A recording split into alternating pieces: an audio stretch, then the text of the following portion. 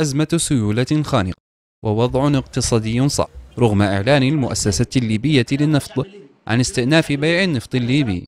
وزف البشرى أنه بإمكانها رفع الإنتاج اليومي إلى 600 ألف برميل في غضون أربعة أسابيع وإلى 900 ألف برميل بحلول نهاية هذا العام من حوالي 290 ألف برميل يوميا في الوقت الحالي. جاءت بشريات المؤسسة الوطنية اعتمادا على زعم فتح موانئ الهلال النفطي وفتح الصمامات والأنابيب لحقول المنطقة الجنوبية الغربية. ورغم كل هذه الانفتاحات فيما تعلنه المؤسسة وتعده إنجازا إلا أن المواطن ما يزال واقفا أمام المصارف ينتظر السيولة لساعات طويلة وغالبا ما يرجع بدونها. حكومة البعثة المقترح وعلى لسان رئيسها فايز سراج. في آخر ظهور إعلامي لها حاولت امتصاص غضب الشارع على ما يبدو.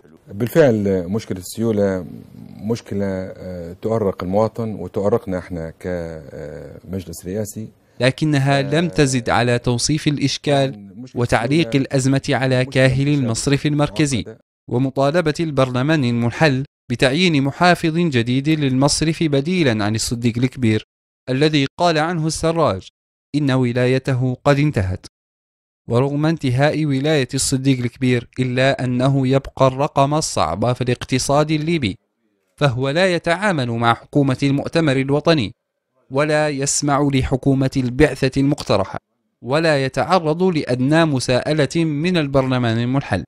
من جانب آخر يرى خبراء اقتصاديون أن العمل على رفع الدعم عن المحروقات والسعي لمكافحة تهريب البنزين الذي بلغ معدلات مخيفة يعد خطوة أساسية لمعالجة الواقع الاقتصادي في ليبيا إضافة إلى تحسين الواقع الأمني المعقد وانقسام المصرف المركزي على مؤسستين في الشرق والغرب.